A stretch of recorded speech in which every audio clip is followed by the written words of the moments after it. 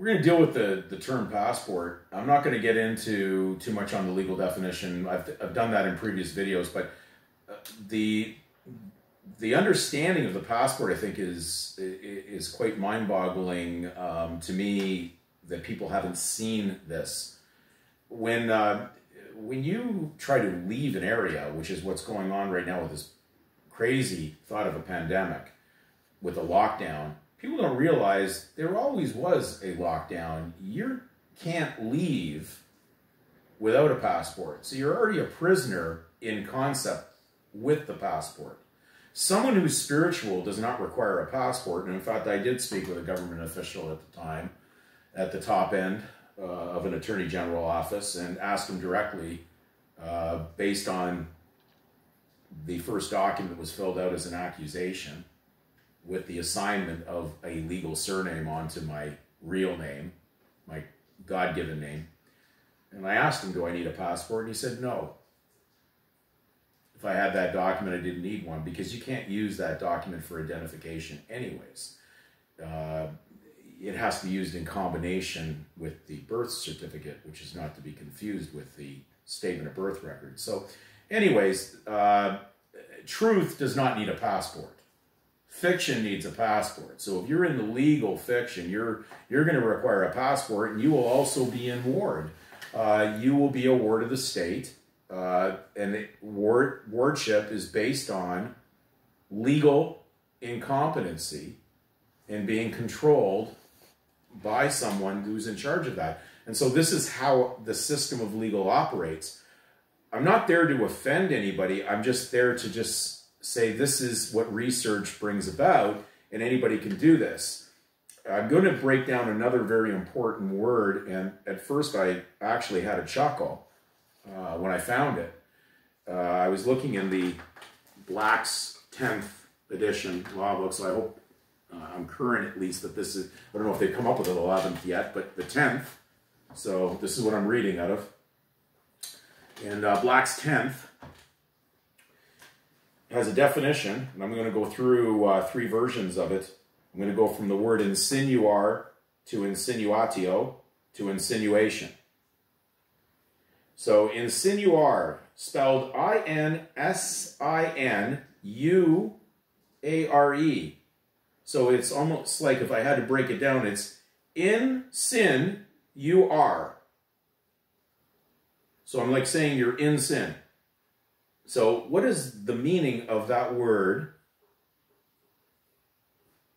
Share to us. Here's, here's insinuare, Latin, Roman civil law which is the same as Roman pagan law, to register, to deposit an instrument with a public registry. Insinuatio, law Latin, historic, information or suggestion. Be careful what I just said there. I said information or suggestion. I'm suggesting something. This term sometimes appeared in the phrase ex insinuation, on the information, which is the precursor to the modern on information and belief. See information and belief. Those terminologies are on most of the birth information records that the parents filled out at the hospital. In particular, in Ontario, uh, or in Canada, you would find that on the statement of birth record. Insinuation, civil law, the act of depositing an instrument with a public registry for recording. A document that evidences a donation of property. Now, remember I broke down donation before, like donation. It's it's got to do with the legal system. The word donation is not in the Bible. It's it's not gift. It could be used in a direction that would seem like gift in the uh, in the world of uh, legal. But when man gives a gift, be careful uh, receiving these gifts because uh, when you take something for granted, it probably has something attached to it that's not much of a gift. It's probably a gift of debt to take on a legal assignment. So the last name is, to my best uh, research, a donative assignment. it, it carries debt with it and it's enforceable as a contract in law. So once you took on that donative assignment or you adopted it into your usage or possession, you carry the responsibility that comes with it, all duties, debts, and obligations. But interestingly, it is really spelled out in Black's law how these birth registries actually operate. And uniquely under the definition, in sin you are. As I said in the Garden of Eden, when Adam and Eve had partaken from the forbidden fruit, in sin you ate, Adam and Eve, because they ate sin at that moment. So an insinuation is how the system works with you participating in sin or legal, which is opposite to grace. So it takes a little time to get your head around these concepts, but you have the ability, which is great on these videos, you have the ability to even dispute the video if you want. you can actually, uh, you know, send me a message, which people have done in the past, usually not friendly if they are disputing it.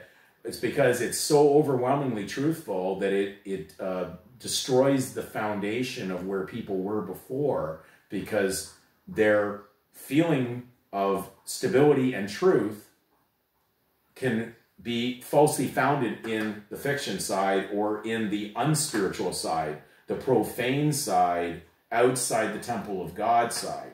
So we have to be careful that all the things you've been affected by in the legal system, which is run by Satan, not to be confused with law, the God of law, God's law. Legal is man's version of law. It has nothing to do with God's law or what we consider natural law. It's got to do with Roman law, pagan law, man's positive law, what he does. It has nothing to do with morals or good behavior. So uh, we have to do the research. We're obligated to. And if you can find something that's contrary to this, uh, certainly share it. Uh, you don't have to. Uh, you don't have to remain silent on it. And certainly, it's good to question.